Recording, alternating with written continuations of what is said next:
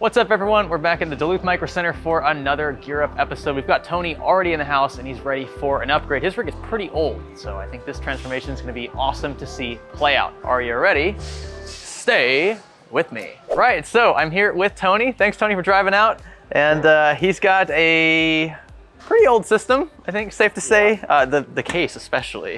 is this one of the things you wanna upgrade if you can make it work Oh, in the budget? definitely, yeah. That is pretty old. I I think that'll go a long way just aesthetically as having a, a more modern looking case. But uh, anyway, I'm excited to have them. And uh, yeah, let's look at some of the specs internally. Tony says that uh, quite a bit has actually died in this rig over the years. The platform is original from what, 2011? Is that right? Uh, it's an i5 2500K and uh, an ASRock Z68 Pro motherboard. Uh, he said that two of his graphics cards have died. He has a GT 710 in there currently.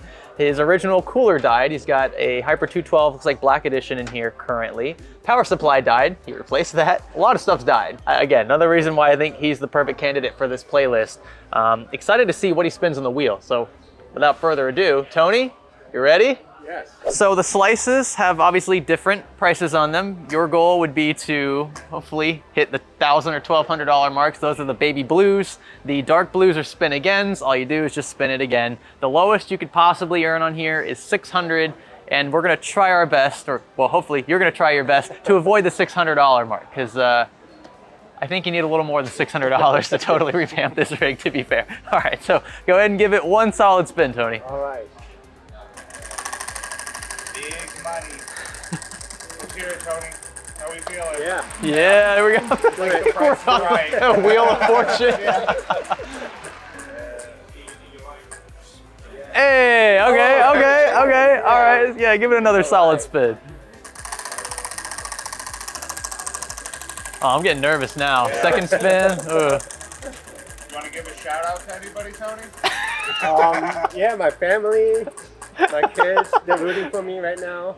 It's, it's, uh, 800. Woo! 800. All right, good job, Tony. Good spin. All right, 800 bucks. I think we can make something work with $800. What do you think? Yeah. Yeah? okay. definitely. Uh, I'm assuming you want to upgrade your platform and probably your graphics card too, right? Yeah, yeah. So yeah, I think this rig's gonna look very different by the time we're finished with it, which is a good thing. You're probably leaning toward a platform upgrade first, right? So you said that you don't do as much gaming, more like productivity work, photo editing, video editing, things like that? Yes, yes. Okay, Mhm. okay, cool. And you had anything in mind in particular that you wanted to look at? Yeah, I was leaning towards the Intel i5 13700K. Okay, okay.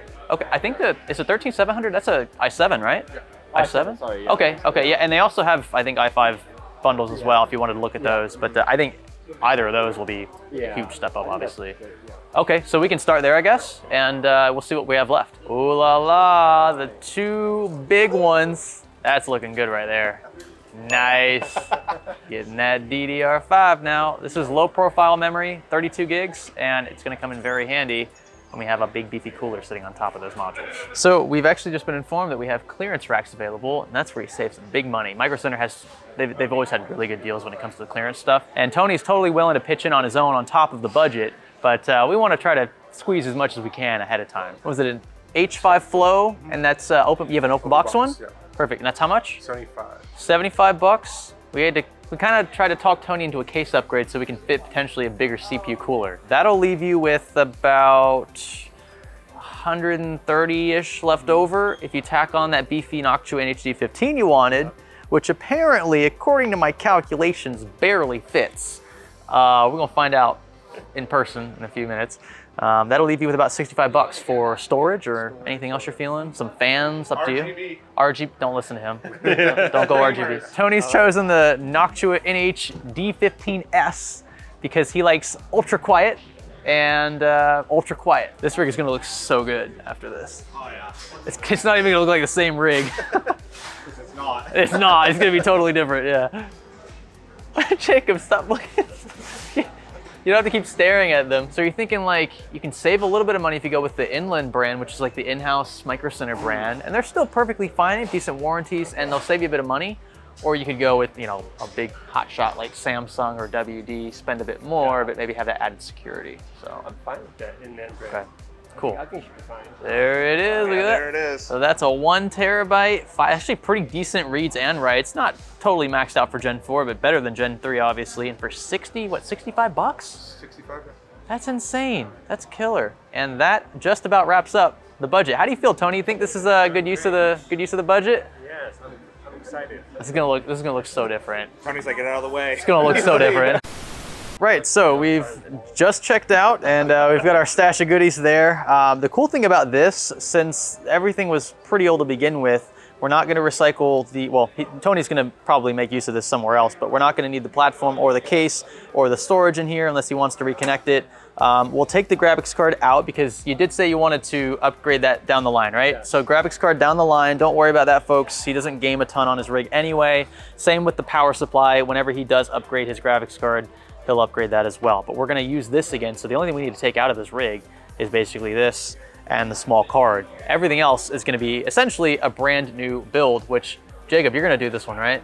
Oh yeah, we're looking at the biggest graphics card they made back in 19th century. Mm, boy, here she comes. Whoa. Nice. Look Oh at that bad boy. So Tony has elected to remove these himself, which I admire. I again give the owners of the rigs that choice. There we go. And now it's time for this glorious CPU 13700K. Drop and run in. Yes, it's loud currently. Micro Center be a busy place on Saturdays. There we go. That's the best part. The oh, best part. Mmm, boy. Oh, nice, nice. You want to let your boy do one? Yeah. Yeah, you want to try one down here? Nice, nice. Look how shiny that is. In goes the DDR5. Slots two for this board and four for that sweet, sweet dual channel. You getting all that, Jacob? Got your thumb. Nice. Uh, try a little fancy X pattern here. That's probably a bit much. Apologize in advance for that, Tony. There we go. Something like, yeah, that, that should spread okay. We got a cross tighten here to make sure that thermal paste spreads correctly. We didn't talk about this earlier in the video, but uh, this NHD 15S is gonna be right on the edge of fitment for the H5 Flow. So we're literally gonna find out right here together if this works. A few moments later. Wow, that's actually yeah. You've got way more clearance there than than it said you would have had on paper. That fits like super easily. We don't even need to put the panel on to test. So no problems at all. Yeah, Yeah, cool. Tony's gonna slide in that older power supply.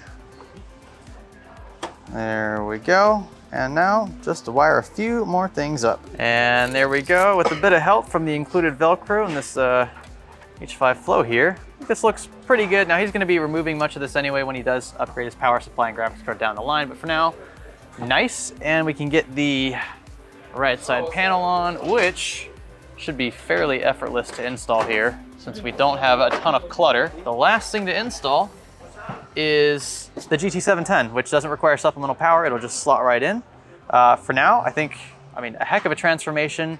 If down the line he upgrades that card, maybe something that has like a white shroud would be the icing on the cake.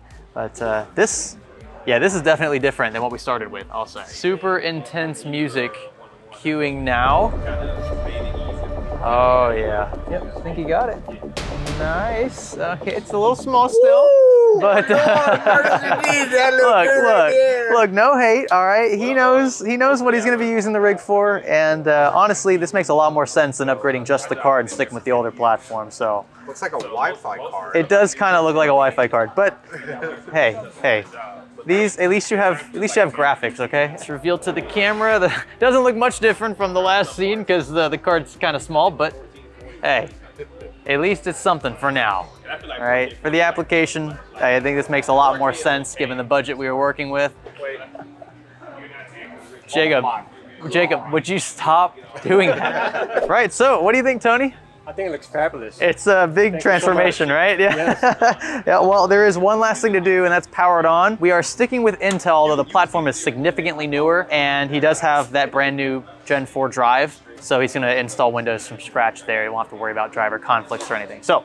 Portable monitor and power on. Tony, this is your job. you get to do the honors. So uh, power on at the rear, and then uh, we'll power on up front. Okay, that's a good sign.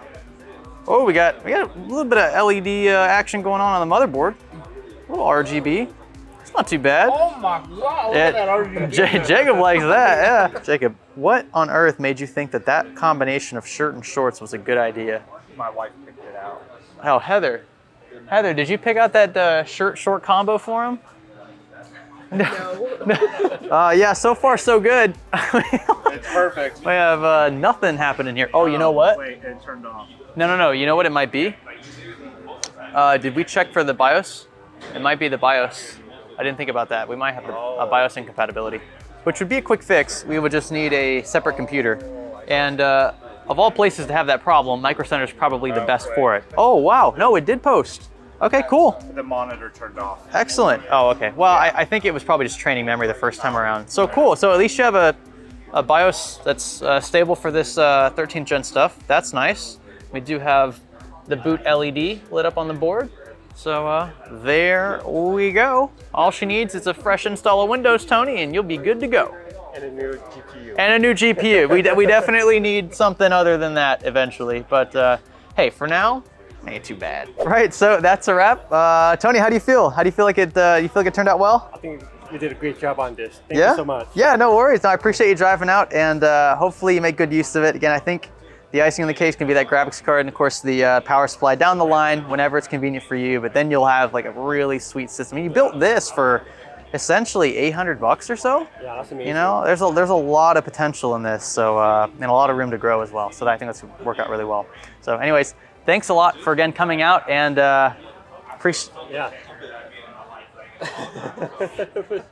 Anyway, thanks for watching. Damn it, Tony. He was like, all right, well, that's a wrap. And then he just was like, and like the guy was like, well, they shook, but like it wasn't like you know like a typical like down low. He wanted to be above the PC, so it was like, and I was just like, oh my god. So every video since then, I was like, yeah, really awesome. Yeah, and that's the thing. Is like you said, you wanted a powerful platform, so I knew we'd probably have a couple gaps, but honestly, for your application, I think it makes a ton of sense. So, yeah, don't worry about the comments. If there's anyone complaining, we'll take care of them, right, Will? We're taking care of the commenters. You guys be nice. Hey, hey, hey, stay away from my donuts. I know it probably looks like I eat 10 of these a day.